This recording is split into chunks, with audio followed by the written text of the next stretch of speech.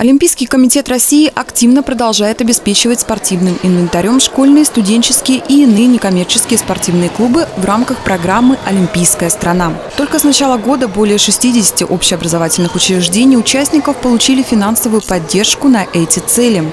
Проект «Проба пера» вошел в число восьми лучших. В результате конкурсного отбора были награждены Одинцовские общеобразовательные учреждения номер 17, 14, 9, 12, а также Васильевская и Каринская средние школы. Каждой из них досталось по 4 сетки, 80 ракеток и 100 упаковок валанов. Передан инвентарь на сумму 2 миллиона 100 тысяч рублей.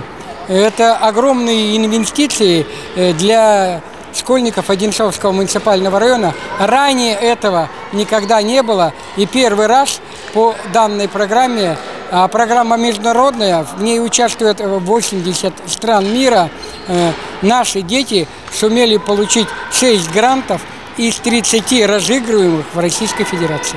Поздравить наших юных спортсменов и руководителей школ с достойной победой на столь высоком уровне пришел и заместитель руководителя районной администрации Виталий Савилов. Как оказалось, он и сам очень любит играть в бадминтон. Во-первых, он доступен для людей. Не надо иметь особой подготовки.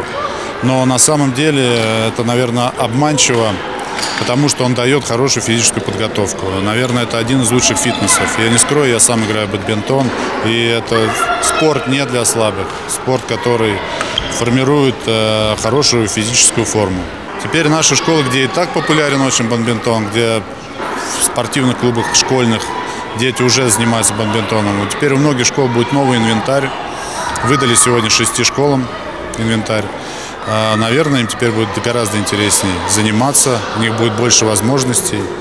И вид спорта, который уже у нас очень популярен в районе, уже который достигает результатов. Дети уже получают награды на различных мероприятиях, и не только региональных. Конкурсные материалы для участия в проекте от Одинцовского района подготовили и защитили в Одинцовском комитете директор ДЮШ Одинцова Владимир Леонтьев и его заместитель по учебно-воспитательной работе Енина Бердюгина. Подготовка к такому конкурсу требовала большой работы и колоссального опыта. Он у заслуженного учителя Российской Федерации имеется в достатке. Комиссия была представительная, было э, соцздравразвитие, образование, спорт, экономика даже была членов комиссии.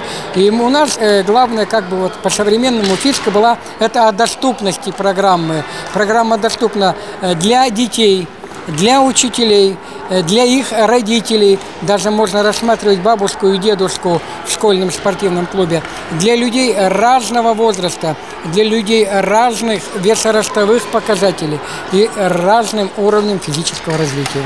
Проект «Проба пера» позволит учащимся познакомиться с бадминтоном как на третьих уроках физкультуры, так и в рамках деятельности школьных спортивных клубов. Ну а свои успехи юные спортсмены смогут продемонстрировать на всероссийских соревнованиях по бадминтону, которые ежегодно проводятся специально для школьников в период весенних каникул. Следующая задача спортивной школы Одинцова – участие в проектах Олимпийского комитета и Министерства спорта по таким видам спорта, как хоккей и фигурное катание. Мила Тарасевич, Леонид Бурдин, телекомпания «Одинцова».